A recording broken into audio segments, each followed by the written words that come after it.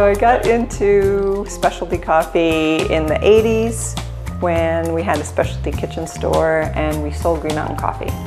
And they would roast it to order. It was excellent coffee.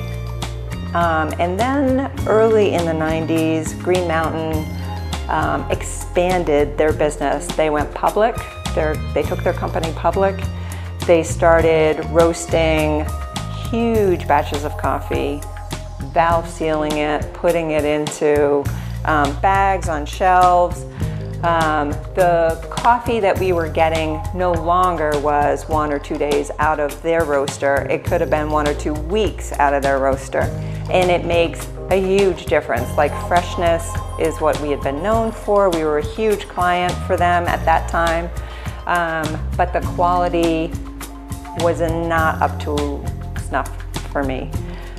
So I bought a coffee roaster and I learned how to roast and I taught myself how, how to roast. And in like 1993, we became Prime Roast Coffee Company.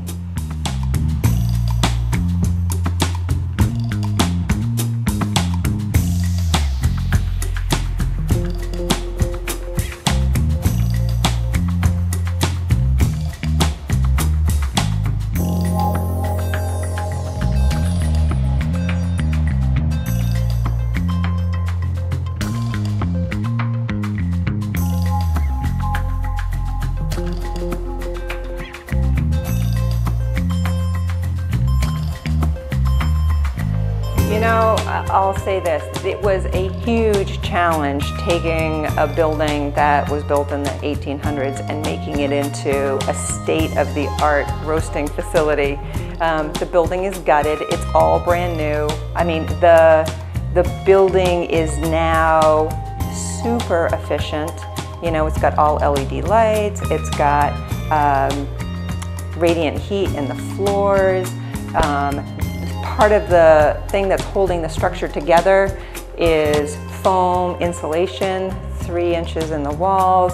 It's, you know, it, it, it's well insulating the building, but also sound deadening um, and structural integrity um, for the old brick, which is super important.